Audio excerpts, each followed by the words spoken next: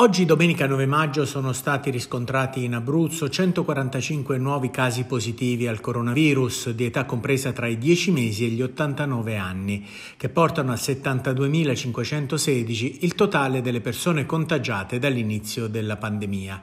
48 i nuovi casi in provincia dell'Aquila, 35 in quella di Chieti, 7 in provincia di Pescara che resta la meno colpita, 53 casi nel Teramano con due residenti fuori regione o con residenza in corso di accertamento.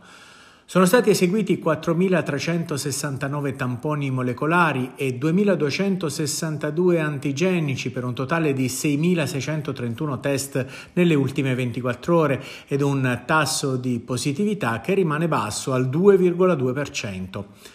Tre le persone che hanno perso la vita, di cui una risalente ai giorni scorsi, che portano il totale delle vittime dall'inizio della pandemia a 2.437 in aumento di 17 unità i guariti che raggiungono quota 62.132, pertanto gli attualmente positivi, 125 in più, sono 7.947.